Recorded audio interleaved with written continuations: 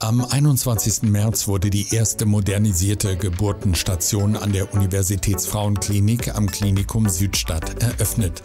Für rund 500.000 Euro aus erwirtschafteten Eigenmitteln des Südstadtklinikums werden beide Geburtsstationen familienfreundlicher umgebaut und eine neue Wohlfühlatmosphäre geschaffen.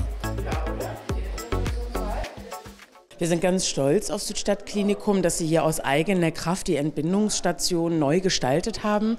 Das heißt, die Patientenzimmer sind neu, es gibt jetzt Familienzimmer. Das heißt, die Familien können vom Tag 1 an zusammen sein, sich an das neue gemeinsame Leben gewöhnen. Und das ist einfach alles sehr schön, äh, sehr schick gestaltet. Ich glaube, alle werden sich hier sehr wohlfühlen. Ganze sechs extra Familienzimmer gibt es nun für die frisch gebackenen Mamas, die die Zeit nach der Geburt mit den Liebsten verbringen möchten.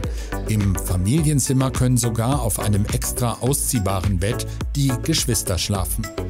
Seit Oktober 2022 wurde gebaut während des laufenden Betriebes. Natürlich anmutende Farbkompositionen sorgen für eine ruhige, entspannte Stimmung. Die Familie der Seepferdchen schwebt durch die Geburtsstation. In den schon bestehenden Bereichen gibt es viele neue Aufenthaltsoptionen, bequem anmutende Loungen, Teebars, Stillzimmer. Gepolsterte Ensembles machen die Wohlfühlatmosphäre rund. Für die beauftragten Innenarchitekten war die neue Geburtenstation eine schöne Aufgabe. Und die Geburtsmedizin an sich als Fest der Familie zu gestalten und äh, zu erbauen, ist äh, nicht sehr schwer, weil mit Leidenschaft verbunden und wir mit unserer Profession können wir das auch und deshalb ist es eigentlich nur positiv. Okay, was mussten Sie alles bedenken? Einiges, weil wir haben ja sehr viel auch in der Struktur des Hauses äh, geöffnet. Das war ja auch die Aufgabe, zwei Schwesterndienstplätze zusammenzubringen. Und man sieht es, glaube ich, schon am Ergebnis, dass wir sehr viel auch baulich äh, äh, verändern mussten. Das war nicht ganz einfach, weil Themen wie Brandschutz und äh, Statik natürlich äh, eine große Rolle dabei spielen. Aber wir sind ganz froh, dass es gelungen ist.